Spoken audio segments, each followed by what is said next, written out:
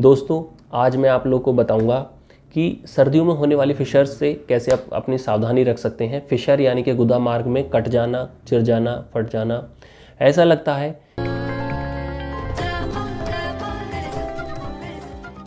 नमस्कार दोस्तों, मैं डॉक्टर अनुज त्यागी, गुदा रोग विशेषज्ञ, छात्र चिकित्सक।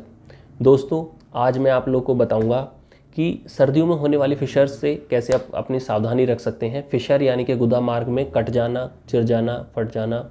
ऐसा लगता है कि डॉक्टर साहब, गुदा मार्ग के अंदर ऐसा लगता है जैसे कुछ कट रहा है, कोई चीज़ काट रही है।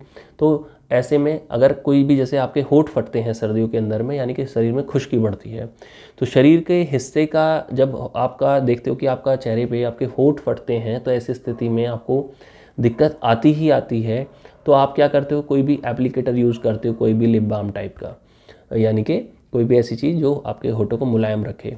तो दोस्तों, फिशर में भी अक्सर ऐसा ही होता है कि एक तो हमारा गरिष्ठ खाना हो जाता है, हम लोग जो है वो थोड़ा गर्म खाना शुरू कर देते हैं, चाहे वो सौंठ के लड्डू हों, चाहे वो सौंठ के अलावा तिल के लड्डू हों, चाहे वो आपके आपके ज़्यादा ऑयली यानी कि मैंने बताया मूंगफली, बादाम और इस तरह की चीज़ें आइटम हो, जो आप हैवी मील लेना शुरू कर देते हो। दोस्तों, ऐसे से, इससे आपकी बॉडी में अगर ड्राइनेस बनी हुई है तो आपको अगर मल भी सूख रहा है तो लेटरिन के रास्ते में जा कर के वो लेटरिन क्योंकि लेटरिन के रास्ते में जा कर के वो आपको टीयर पहुँचा देगा, नुकसान पहुँचा देगा और कहीं पर भी कोई भी कट लग जाएगा, जख्म बन जाएगा, हो सकता है बूंद करके खून भी आ जाए या फिर रोज़ जलन रहनी शुरू हो जाए या फिर खुजली के साथ में और दूसरी परेशानियाँ शुरू हो जाए।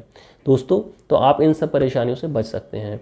दोस्तों, इसके लिए आप कुछ कुछ ज़्यादा नहीं करना है केवल और केवल आप कुछ भी ऑयल लेते हैं, कोई भी सिंपल से ऑयल लेते हैं आप सिंपल ऑयल जैसे आपके घर पे रखा हुआ ज़रूर होगा, कोई भी नारियल का तेल हो सकता है, तेल का तेल हो सकता है या फिर कोई भी साधारण तेल ले सकते हैं।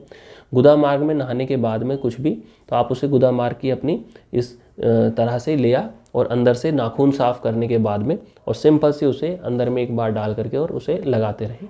या फिर किसी भी सरिंज के माध्यम से आपने उसको दो एम तेल, जैसे सिरिंज पे से निडल उतार देंगे, पिचकारी सी बन जाएगी वो, और दो एम तेल जो है गुदामार्ग में छोड़ देंगे। अगर आप ये वाला काम हर आठवें, दसवें दिन भी कर देते हैं तो आपको गुदामार्ग में खुश्की नहीं बनेगी, और एनी हाव और एनी हाव अगर कोई दिक्कत बन भी जाती है, थोड़ा बहुत कहीं पर स्क्रैच लग भी जाता है तो वो उसको ऐप उसको जो है हीलिंग प्रोवाइड करा देगा। उसको वहाँ पर जो मल आपका निकल के आता है उस जख्म के ऊपर उसको एक कॉटेड तैयार कोटेड एक तैयार कर देगा कॉट तो वो ऑयल के थ्रू उस पर से निकल जाएगा, मल उसमें फंसेगा नहीं। दोस्तों, इस तरह से आप अपने सर्दियों में होने वाले फिशर से बच सकते हैं। फिशर एक बहुत ही कष्टकारी और दर्द देने वाली बीमारी है। जिन लोगों को होता है, बस उन्हीं को पता होता है और जिन लोगों को छोटी मोटी खुजली खारिश होती है, वो भी इसको आराम से कर सकते हैं। दोस्तों, वीडियो अगर आपको अच्छा लगा होगा तो ज़रूर शेयर कीजिएगा दूसरे लोग के साथ में भी। छोटी सी जानकारी है, लेकिन आपके काफ़ी काम आएगी।